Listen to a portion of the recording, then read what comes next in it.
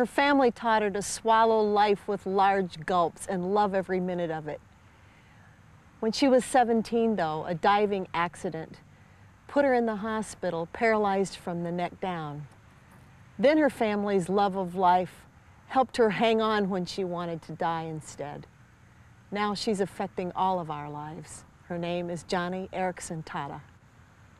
On the right-hand side on my cupboard door was a little plaque, and it was a silhouette of this little girl in a boat in the dark uh, out on the ocean with stars above her. And oh, I hope I get this poem right. It, it went, um, Oh Lord, my little boat and I are on your open sea.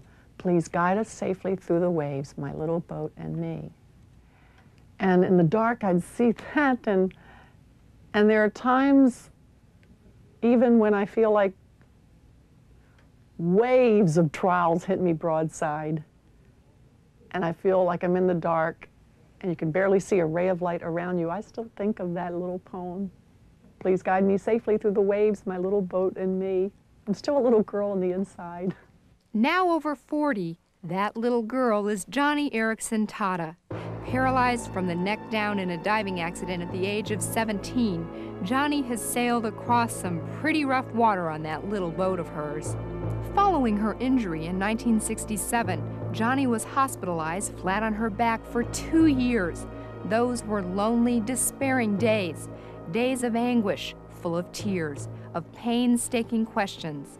But through it all, Joni remembers it was the loving support of her parents that gave her the courage and strength to accept her disability.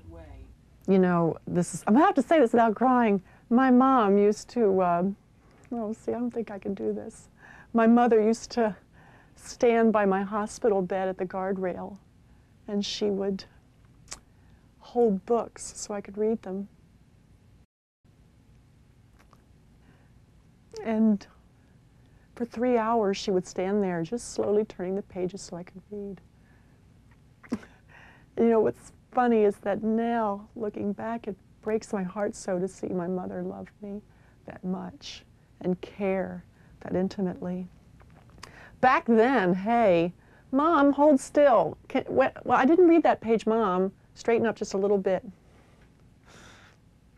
What a selfish teenager I was and how self-absorbed and self-centered. But I still, to this day, cannot tell that story without thinking of what a wonderful parent, what a wonderful mother and father, Joni's mom and dad made it their job to instill a kind of passion and wonder for life in their children. There was much more to God than Sunday school. Joni and her sisters learned about life from their parents, that every part of life was sacred, and that God was real. They told us marvelous stories of sea adventures and scaling the Rockies and meeting Chief Own Different Horses. My father met a man called Chief Own Different Horses. And he tells about Noah and David and Moses and Daniel and Abraham. And, and these were all figures larger than life, but real, real people. And, and, and it was all a mixed, marvelous muddle of adventure and, and excitement and enthusiasm and passion and wonder. And I don't know, it was just, this is life and, and this, is, this is sacred and this is spiritual and this is history and this is, this is a part of who you are. And Christ is at the center of it all. And he makes it all gel and fit together.